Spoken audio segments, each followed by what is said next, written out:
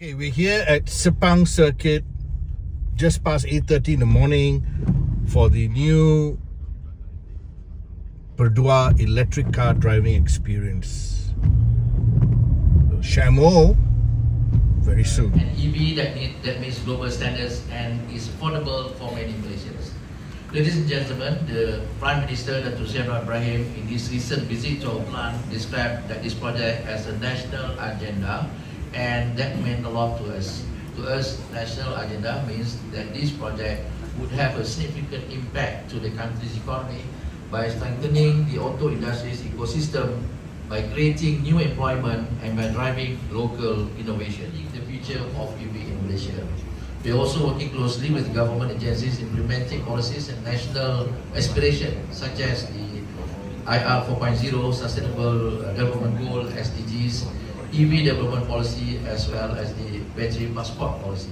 Uh, yang berbahagia Datuk Sri Zainal, Perdua Presiden and CEO, Mr. Masaki Okita, uh, Presiden Perdua Auto Corporation, yang berbahagia Datuk Ahmad Suhaimi, uh, Vice President Perdua Auto Corporation, yang berbahagia Datuk Rosman Jaafar, Chief Operating Officer, Top Management of Perdua, uh, respected members of media, uh, ladies and gentlemen, Thank you very much for, for you coming here today and for your interest in test driving our first EV.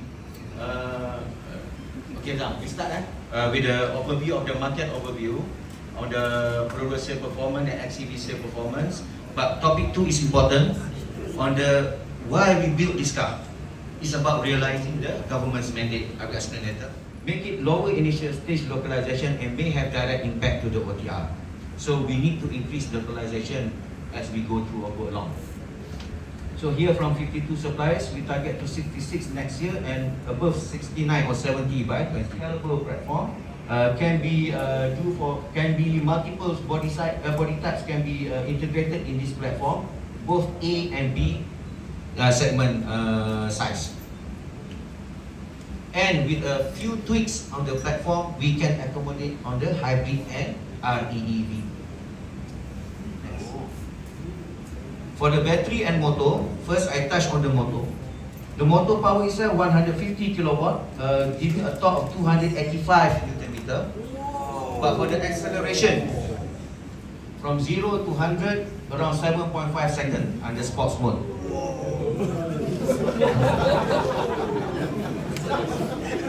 Speed itself 165 km per hour. Next.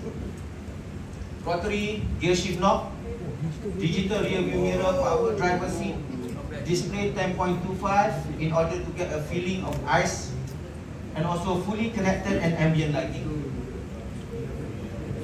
We go wireless this time, wireless phone charger, wireless Android Auto, uh, two-spoke flat bottom on the steering wheel, TPMS, and this is the additional safety.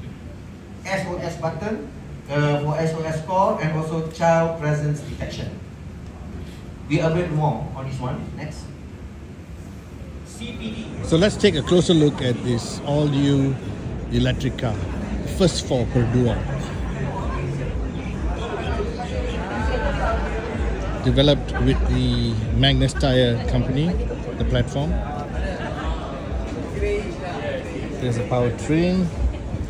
Most of the powertrain, the batteries at the back, of course.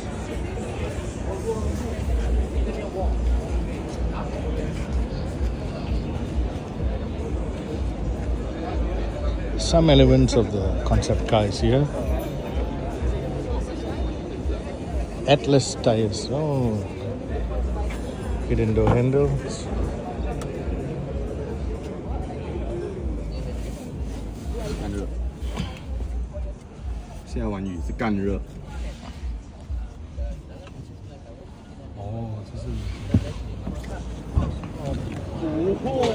Okay, rear sloping roof line, which means Alright, next calling number 40. fastback design. So this is the other color choice. Calling number 45 to 52, please be ready at test drive area. 45 to Easily a long-lasting design language. And this is completely done in-house by Perodua. bawah dia punya acceleration okey ke? So this is the badge for it right now. Large enough boot. Charging cable, tire sealant. So no spare tire. Tire sealant instead.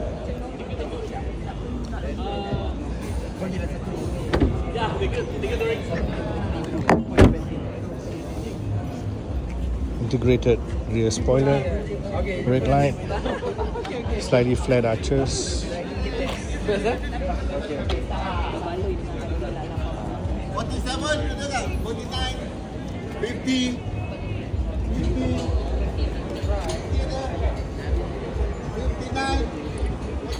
Two one five fifty eighteen tires.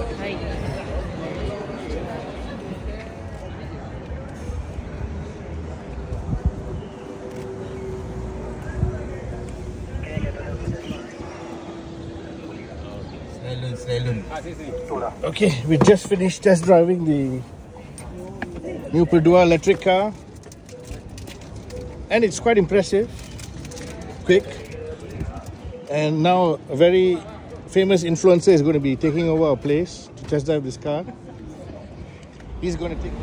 So this will be the next best-selling electric car in Malaysia from Perodua. Perodua's first effort as an electric car and you don't own the battery. The battery is owned by Perodua. You're leasing the battery.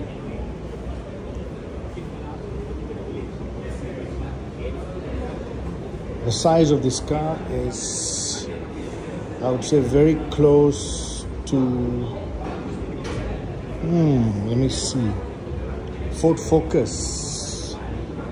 But with the sloping rear end, rear headroom is slightly restricted for basketball players.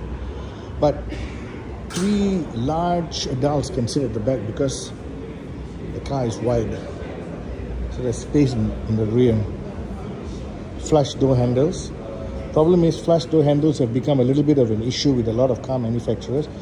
So don't know whether that will go or stay. Very modern looking front. 18 inch wheels riding on Atlas tires which come from China because there's no local supplier for these specialized EV tires.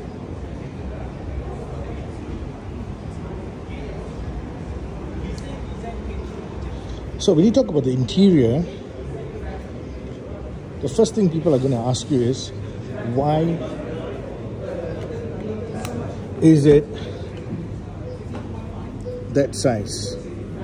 Because a lot of people prefer the larger interior, larger screens, but this has got a smaller screen, rotary knob, space at the bottom there, some physical buttons there, physical buttons on the steering wheel, but the driver's screen is uh, complete, completely, I mean, everything is there. The user screen might be the issue because people like big screens for the users. Rear legroom is very good. Oh, okay, sorry, sorry. Then you got the typical tapao hook here. Something to see through here. Two charging ports. And now you got a better look at the screen. Rotary knob for your gear shifter. And your rear view mirror is a screen and camera. Pretty well equipped. Safety features are very high. Now it's all down to price.